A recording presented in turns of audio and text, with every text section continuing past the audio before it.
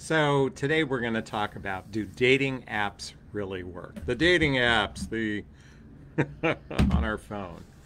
Um, the reason why I want to talk about this today is because I'm having some interesting new awareness around using dating apps, and and I thought I'd share it with everyone today because um, and I'm looking at my own patterns and my behavior with respects to online dating. And, you know, I'm kind of in a catch 22 because in my professional capacity, you know, I'm, I'm here talking about dating relationships all day long. And unlike most men out there, um, and then I've been an advocate for dating apps for years because when after going through a divorce, I found my well, I didn't use dating apps, I used dating sites after my divorce and I met some really amazing women. I I got to go on a lot of dates. Um, not that that's a good thing, I went on a lot of dates, but I mean, there was access to people. There was access to an abundance amount of people.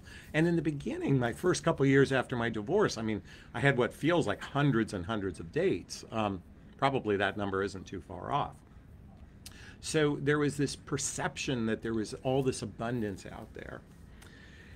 And the more I did it, the more I did it, the more I did, I realized that the problem isn't the dating sites. The problem was me. In other words, what I truly wanted was I in a healthy place to be in a relationship. And the dating sites were this um, addictive, became an addictive thing for me. Now, thankfully, because of my addiction, I, I found my vocation in life. So I'm very grateful for the, the addiction and the dating process and the dating sites and whatnot. But as I got to know myself better, I realized that once the dating apps, once the swipe apps were invented, I became rather addicted to the process. I became rather addicted to the dopamine hit when someone would swipe you and you'd match and they go and you'd say inside yourself or at least I didn't said inside myself oh someone likes me and then we'd gauge in a conversation it would fade out and it was just one disappointment after another after another so, as I really leaned into what's happening both for myself and globally, and I'm saying globally from the dating perspective around dating apps, is that it's it's I think that swipe apps have bastardized the process. At least it was at least when there was the dating sites where you used your laptop, there was a lot more information. There was a few more hurdles to jump through there was um, er, you know a little few more barriers into entry there was a little bit more success.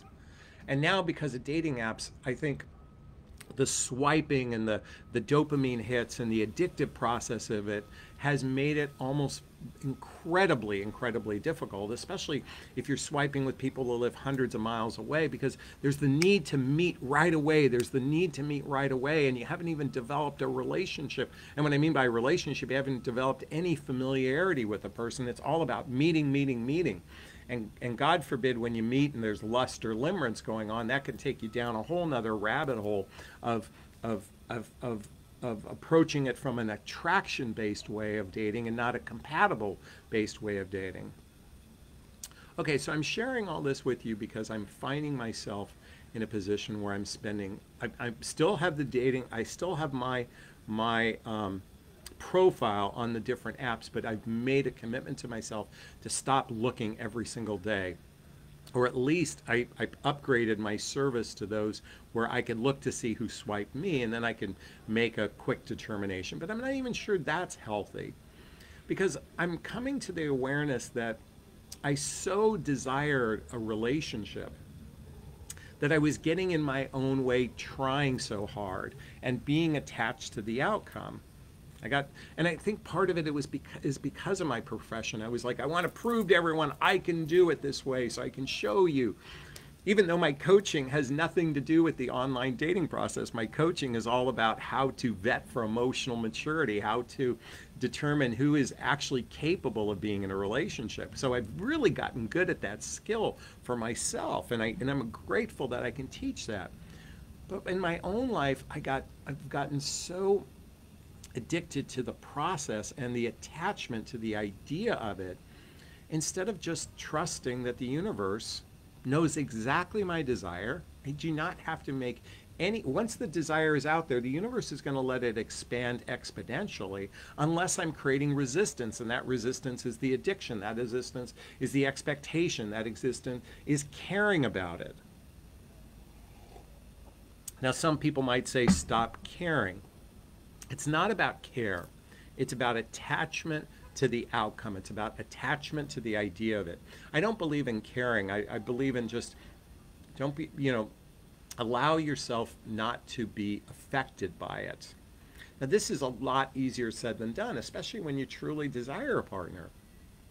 Which is why, when I think back for the last few years that I've been single, what I learned was to appreciate my own company. What I learned is just the last few years, I'm just like, I like my own company. I really enjoy my own company. Now, does that mean that could be the danger of, of, of being recluse? No, I still desire to be connected with someone. And yet I'm in a space where I feel good.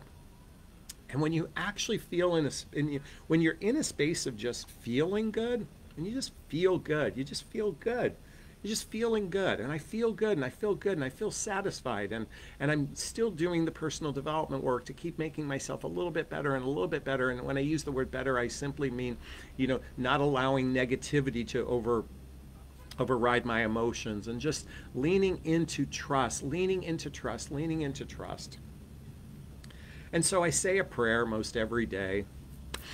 Dear god universe spirit i invite you I, I put out the energy to invite my soulmate into my life, my true love into my life, where we can begin a partnership together, where we have mutual chemistry and we have excellent communication skills with one another and we banter with each other on a regular basis in a healthy, happy way. And we have the ability to resolve conflicts and differences with ease. And we're compatible in that our lifestyles are blendable with one another and we enjoy each other's company and we can do spontaneous things with ease and we are we share the same values in life and we have that emotional maturity to actually go beyond our egoic beliefs and actually leaning into more unconditional love. And lastly, we can build the deep roots of trust together so we can forge this healthy, happy relationship together. And for that, or in that, I invite that into my life. Ah. So that's my invitation for you. Let go of the dating apps. Trust that the universe is going to invite someone in. Set that prayer. Work on yourself emotionally every single day. And allow God, universe, spirit to bring that person into your life. And when you're ready, and oftentimes we're getting ready to get ready to get ready, to quote Abraham, and when you're ready, that person will show up. God willing. And if they don't, maybe in the next time, like, lifetime that'll happen. Because I believe our spirit is eternal and we get to try this over and over and over again just for fun.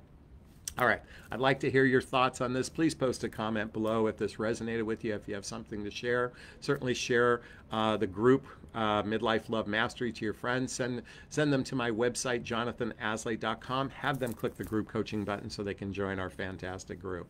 And I'm going to sign off this video as I always do. First off, giving myself a big, gigantic Jonathon Bear hug of self-love. And I'm going to reach into the camera and give you a hug of love if that's okay. I'm asking you to turn to someone, a pet, a teddy bear, a pillow, and give it or them a hug of love because hugs are a great source of love. And let's face it, we could all use more love in our lives. Thanks a bunch. Bye-bye now.